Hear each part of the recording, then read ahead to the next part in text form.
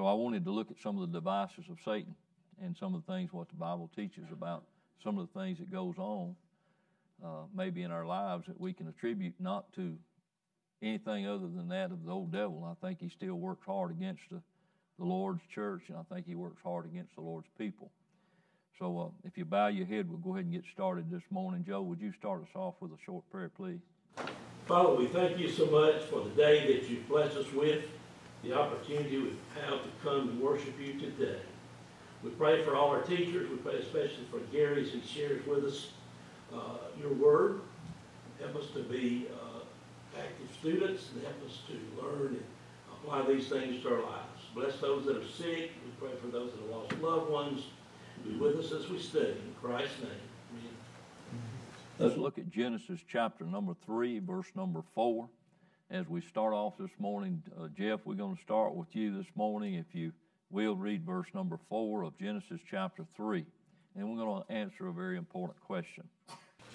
And the serpent said unto the woman, You shall not surely die. Okay. Let's consider the thought here. We know the whole setup. We know that the serpent has come to Adam and Eve. And we know what God told Adam and Eve in the very beginning. And He said, Look, this tree over here, in the day that you eat of that tree, you're going to surely die. Somebody said to me one time, Well, they didn't really know what death was all about. I don't think that matters a whole lot. The question that we want to answer this morning in verse number four the serpent said unto the woman, You shall not surely die. Did the devil actually tell her the truth? No. The serpent said unto the woman, You shall not surely die. But she did. And that's the thing about it. And so I would hope and pray that people today recognize the fact that as we look at these devices of Satan, and there's a lot of them, and I probably won't get to a lot of them before the, the end of our time this morning, but there's a lot of things that the devil does and says in the Bible that really and truly still relates to us today we know that we die today as a result of what happened here. And you know, this is in the very beginning of time. This is with the first man and the first woman. And we consider the thought, you know, the serpent said, You shall not surely die. He told her the truth, but he didn't tell her the truth. You know, the fact of the matter was, he says, Look, if you if you do what God said do, you shall not surely die but she did. And so, for all of us today, I hope and pray that we can utilize what the Bible teaches to govern our lives because, you know, whether we want to or not, we're going to all die. You know, it's appointed unto man once to die.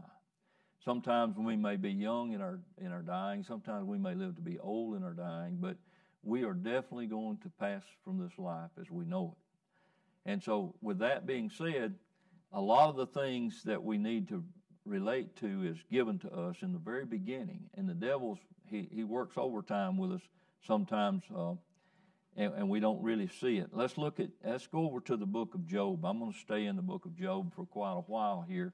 We know what happened in the book of Job with Job. But I want us to look at some of the things that, that really and truly I think happens with us today. I think the devil still works and I think he's still there. And I think he's still motivated to uh, do as much damage as he possibly can. Let's look at verse number 7 of Job chapter 1. Uh, let's read uh, on the right hand side over here, Bruce. You want to start us off right there? We'll read verse number 7. Lord said unto Satan, Whence comest thou? Satan answered the Lord and said, From going to and fro in the earth, and from walking up and down in it. Okay. Now, the Bible starts out by saying there was a day when the sons of God came to present themselves before the Lord. And guess who came with them? Satan. And so uh, I think a lot of times people don't regard the fact that Satan is amongst us in every aspect of our lives. You know, I mean, we may not we may not think it, but Satan is amongst us, and he's he's out there, and we can see that with the demise and decline of our nation.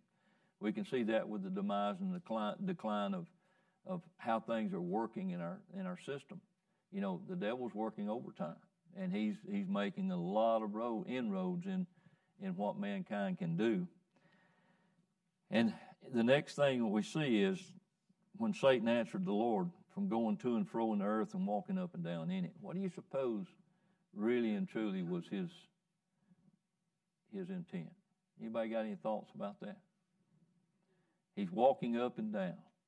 You know, he's in the in the world. What what do you think his intent is? Right. I mean, the devil's never had any good intent. We know that because if you go and look at what the Bible says over here uh, in the same in Job chapter two, the Bible tells us about Satan, and the Lord said unto Satan, "Behold, he's in thine hands," and he says, "But you can't kill him." You know. Now, in this case, God specifically said you can't kill him.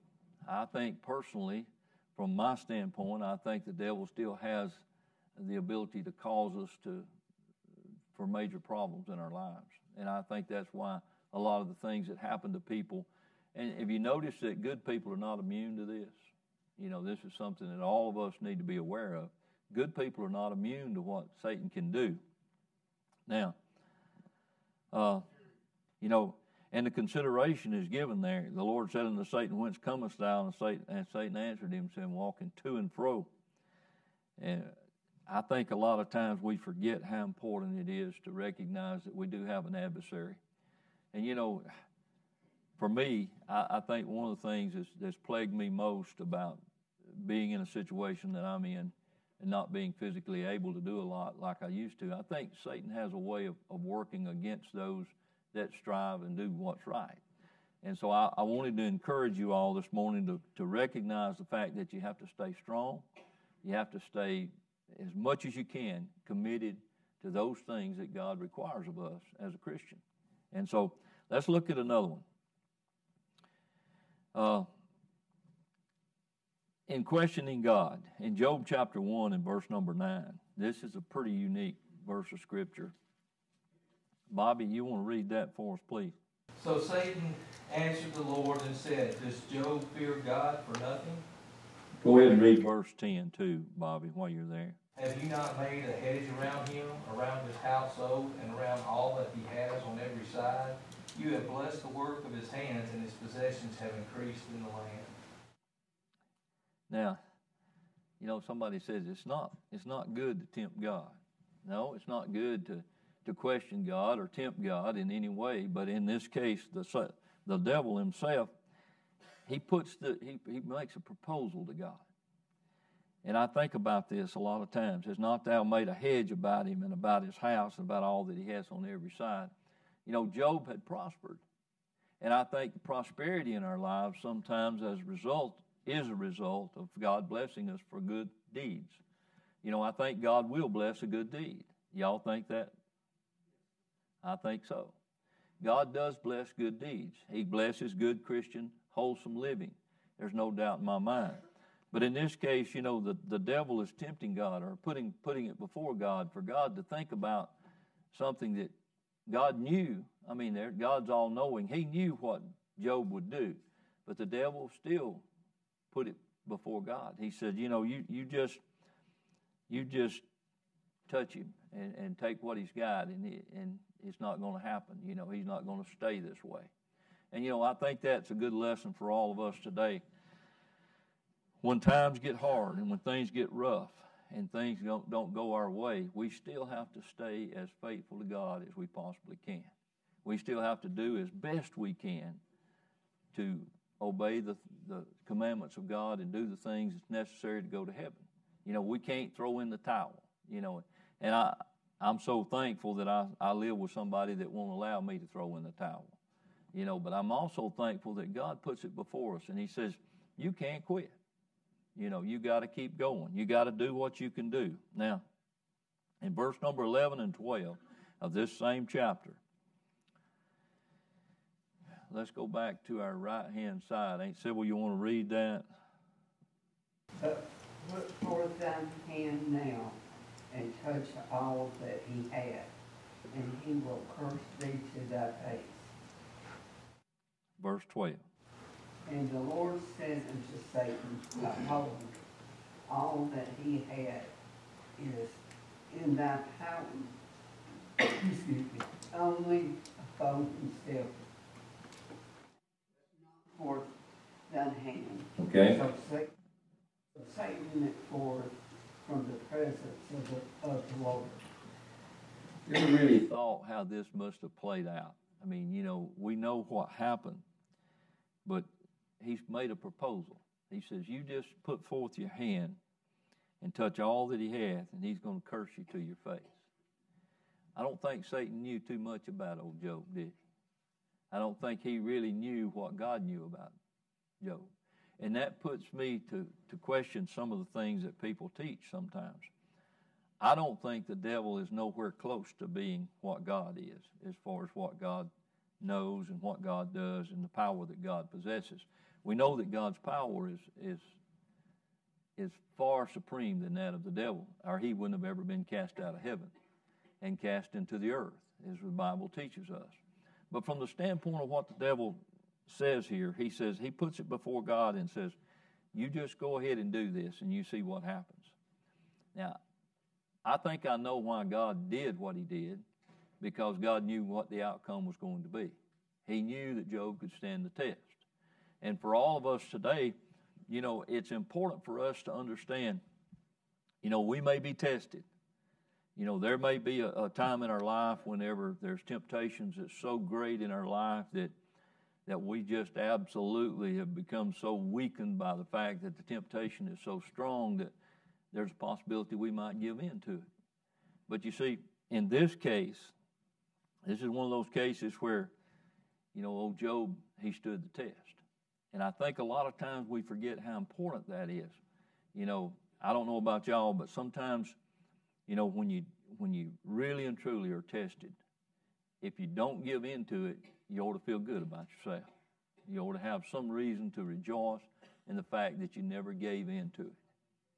And that's an important part of being a Christian. You know, there are going to be things that you have to stand up to. And I mean, Gary and I both, we got to stand up to a lot in the next few days. But the thing about it is, you have to stand up to whatever it is. And if it if it gets the best of you, you can't throw in the towel. And that's why I think utilizing what we find here.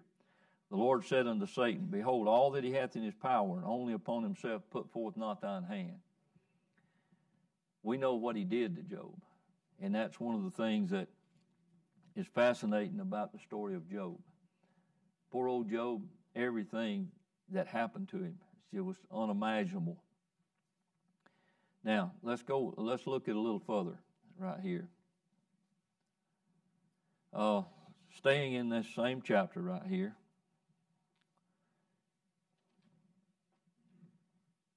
Notice, if you will, I wanted to look at verse Job chapter 2. This will be verse number 3. It's a long verse. And I want us to listen to that verse, if you will. Let's see, let's, let's see, where were we at over here? Okay, Myra, you want to read verse 3? That's a, that's a pretty lengthy reading. And the Lord said unto Satan, Hast thou considered my servant Job, that there is none like him in the earth, a perfect and upright man, one that feareth God and escheweth devil on an evil, and still he holdeth fast his integrity. Although thou moveth me against him to destroy him without cause. Okay? Think about where we're at here. The Lord is there in the conversation with Satan. God knows Job, He understands Job. And I think a lot of times we forget what God knows about us. He knows the inside of us and He knows the outside of us. He knows every aspect of our lives. He knows where we're weak, He knows where we're strong. He knows what we're capable of, He knows what we're not capable of. God is all knowing from the standpoint of each and every one of us. You know, sometimes we think we know each other. And, you know, in a marital relationship, you know, sometimes you can be so close uh, with that individual and be so long into that relationship that you can look at them and pretty much tell what they're thinking. You know, most of us understand that. It's been married for umpteen years. You can understand that principle. But you see, this was one time when God really and truly, He knew, and He knew in detail what Job was capable of. And so, whenever you read those verses, I've thought a lot of times about what He said. And still He holdeth fast His integrity, although you moved me against Him to destroy Him, and it was without cause. You know, God, I don't think God would have ever allowed Job to die. I really don't. And and you know, a lot of times I've had people argue the point. I don't think God would have ever allowed Job to ever die. But you know, it was so much that was put on Job that it was almost to the point where you know, you just wonder, you know, even with his wife saying, curse God and die. You know, get out of this. It's too bad. You can't go on. It's just, but God knew he could stand the test. Uh, in verse number four, we come back with Satan and what Satan really and truly thinks about the situation. Nicole, you want to read verse 4, please? And Satan answered the Lord and said, Skin for skin, ye all that a man hath will he give for his life.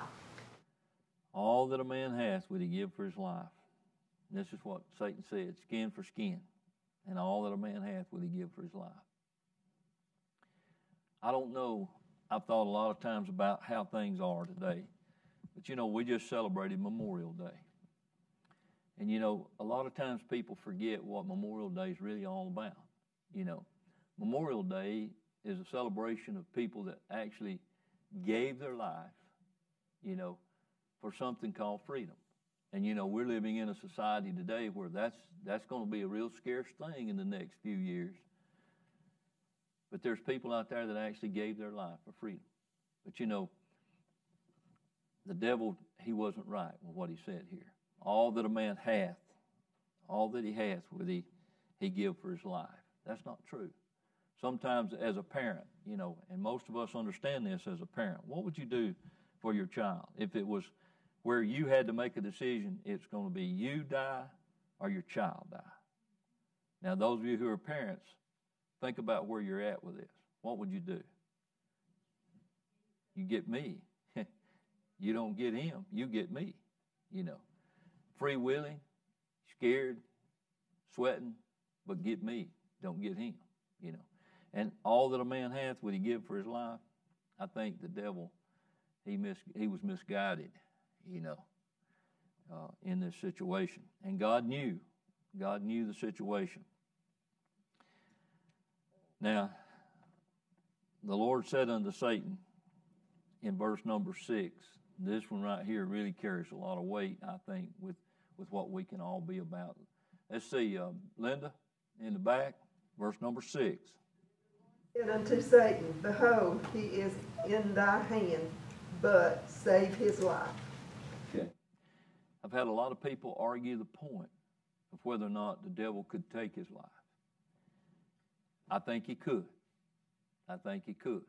I don't think God was going to let him, but I think he could. Yeah, he told him. He said, "You, you, you, you, you can do anything you want to. He's in your hand, but you save his life." And so, a lot of times, people forget the fact, you know. And I've had people argue this point. Some people that are a lot more knowledgeable in Scripture than than me. Sometimes they argue the point, you know. But the devil you know, taking his life, I think the devil had the ability to do that. And God said, You can do it all to him, but don't you take his life. You know. And I think God made it very plain. You know. Job didn't understand what was going on. I mean, he he couldn't he couldn't fathom what was happening to him, you know. And there's a lot of things that Job brought to the attention of God, you know, with, with all of what's happening to me. You know, God, why, why is this? But nevertheless, God did this for, for a reason. And I think sometimes we forget how important that is of God allowing this to happen to give us an indication of what it means to be obedient and faithful and stand the test of all of what God can throw at. I mean, all of what the devil can throw at you. You know, I talked to a man just this week, and he's in the same situation that some of us are in. And he said to me, he said, I'm, I'm quitting. I'm throwing in the towel. I said, You can't do that. He said, Yes, I can. He said, I, I'm just done. I said, No, you can't. You know, and I, I utilized this. I, I put this before him, and I said, You know, here's a man that, that was plagued beyond what diseases we can be plagued with, and he didn't throw in the towel. You know, he did everything he could do, you know, to stand the test. And, you know, that's one of the things. When I think about, you know, how this this played out, you know, when I, I get down, sometimes I read about Job, and I, I listen to some of the things that that the Bible teaches us about Job. Uh, Job chapter nine, verse number twenty-four.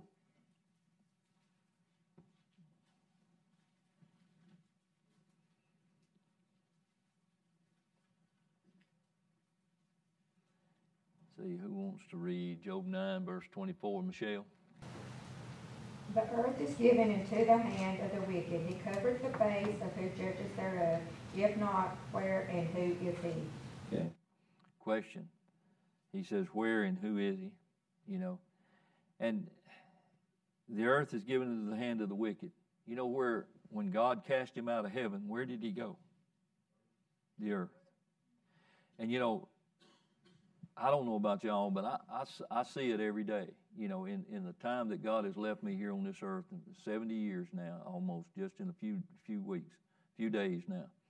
But He left me here this long, and I see it. I see what's going on. I see the wicked, and it's it's it's more wicked now and more demor- demoralized than ever I've seen it in my lifetime. And and you know the devil's working overtime. I mean, there is no doubt in my mind he's working overtime. Because somebody was saying to me the other day, said, Are y'all down on your attendance? I said, Yes, we are. They said, Oh, we are too. I said, Wonder what's going on. I said, The devil's working overtime. People have just come to an understanding or come to some kind of a, a thought that maybe it's not that important to go to church anymore. But I think assembling ourselves together and worshiping and studying our Bibles ought to motivate us. It ought to help us to understand. You know, there's going to be a day of reckoning, and we're all going to stand before God, and we're going to we're going to be judged accordingly. You know, and those that just willfully neglect the assembly and didn't really think it was necessary, and all the things that's going on in our society today, I don't think that judgment's going to hold too too good for them. You know, and I'm not being judgmental. I'm being honest with you. I think people today are not trying as hard as they need to to serve God and do the things. Now, Job, we know in his capacity, it would have been very easy for Job just to say, I've had enough. I'm done. You know, when you think about taking his children, taking everything he had, sores from the top of his head to the bottom of his feet, he was demoralized in every aspect of his life. It would have been very easy for Job to just say, hey, I, I'm done. You know, that's it for me. You know, you can't do that. I mean, that's not what the Bible teaches. Any thoughts or comments? Well, let's look at the let's look at a, a, passage in the New Testament and talking about the devil for a few minutes. In Matthew chapter 13, verse number 19. Matthew chapter 13, verse number 19. Let's see up front, Pam. When anyone heareth the word of the kingdom and understandeth it not, then cometh the wicked one, and catcheth the way, that which was sown in his heart. This is he which received seed by the wayside. Yeah. Did you ever think about how this plays out today? He says, when a person hears and they understand it not, then the old devil comes, the Bible says, and catches it away. He doesn't want us to know what's right. And you know, for for the most part of what our society is showing us today, most people don't want to know no way. But those that do learn and those that do know, the devil still has an intent. I think this New Testament passage carries a lot of weight with what I'm talking to you about today.